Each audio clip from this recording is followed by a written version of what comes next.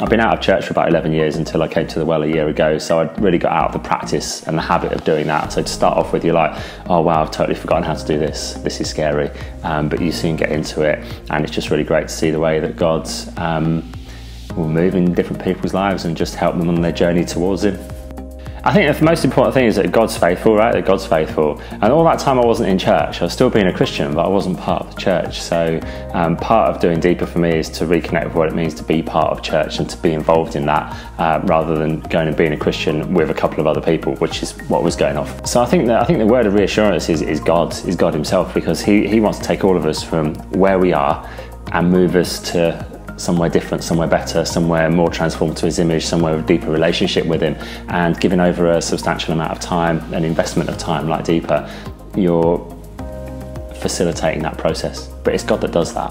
But you're giving in that time, you're giving that space, that opportunity.